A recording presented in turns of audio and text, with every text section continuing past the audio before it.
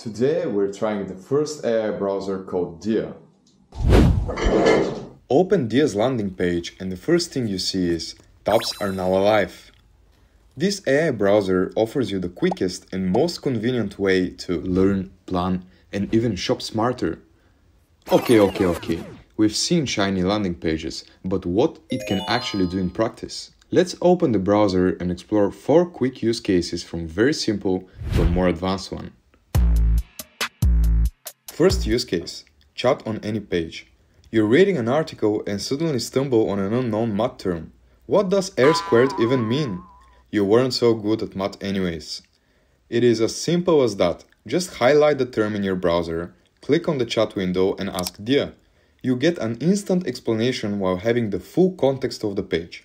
No Google hopping, no new tabs, everything right in your browser. And you can do the same thing while watching a YouTube video.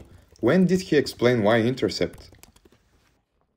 He explains the y-intercept at around 335 in the video, right after fitting the line to the data. Second use case, mentioning tabs for context. Say you're planning a trip to Malaga. Again, you have a dozen of tabs open and it's chaos. With Dia, you can just go to the chat and select all booking tabs open and ask, give me the best three options closest to the beach. Dia will read every tab, compare the options and give you all key details in one place, helping you choose. Same applies to choosing a laptop.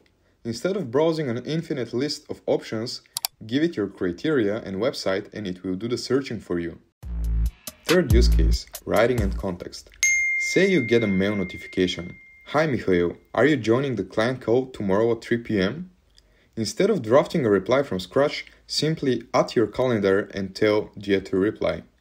Dia will look at your calendar and suggest a smart answer that you can fill and use with the ease of a click of a button.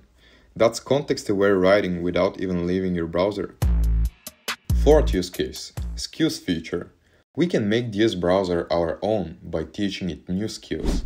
For example, we can create a skill called Top Crypto instructing Dia whenever received to search and summarize today's top news in crypto such that we don't have to search about it. Dia also has a marketplace where you and other users can share their custom skills, like this one called Will I Regret This Purchase that helps you decide whether you will regret buying that bracelet later. Alright, so I need to end this video here. However, I want to clarify one important question at the end. Should you switch and use Dia's browser? And my ultimate answer would be yes, switch and try it out. However, do it at your own risk underlined. Why I say at your own risk underlined? You need to understand that building core AI infrastructure and large language models is extremely expensive to build. For that reason, product companies which are integrating AI into their solutions are partnering and using third-party model providers, like Dia, Dia's browser is currently integrated with all OpenAI's models and you can literally choose which GPT model to work in your browser. On the other side, this opens up a door with privacy-related questions, like, what is happening with my data? Is it possible that all of my browsing history gets leaked into the internet? And things like this.